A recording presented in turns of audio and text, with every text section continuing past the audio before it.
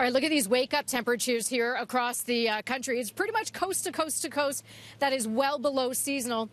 We can thank what's called a Siberian high pressure system. So, uh, high pressure from Siberia, and on the right side or the east side of it, we've got a strong northerly flow, and that is what has driven in these cold, cold temperatures right across the country, down to uh, into the states as well. Waking up to minus 31 this morning in Thunder Bay, and of course, these numbers are below seasonal right across the country and do not include the wind chill either. Uh, the wind chill and the extreme cold uh, warnings vary from locale to locale. So out in Alberta, that wind chill has to be minus 40 or colder as the criteria to issue these warnings. It's got to feel like minus 30 or colder down here in Toronto and minus 48 or colder into Quebec. So it depends on how hardy of a Canadian you are, I would say. Uh, we've got all of the GTA under that blue, which is the extreme cold warning, because the wind chill going through tonight and into tomorrow morning will be very near to minus 30. The actual air temperature is in the minus teens right now. And of course, that wind chill already feeling like the minus 20s. In fact, Pete, the camera guy, and I say every time we come out here,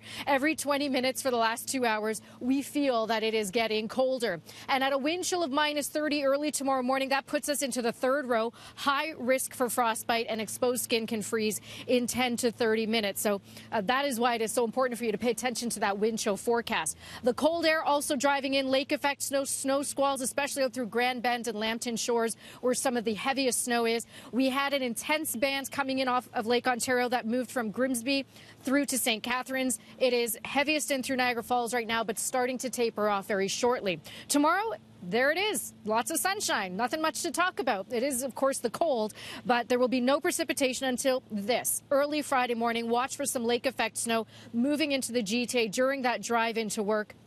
We may taper to flurries in the afternoon, but for the drive home, we'll get into another little round of snow. So, uh, forecast snow amounts anywhere from two to five centimeters. New Year's Eve forecast, my goodness, this could be the coldest in 50 years as we head down to a low of minus 22, and that is going to be early on January the 1st. So, a couple of centimeters on Friday, and watching next Wednesday also for a potential snow day.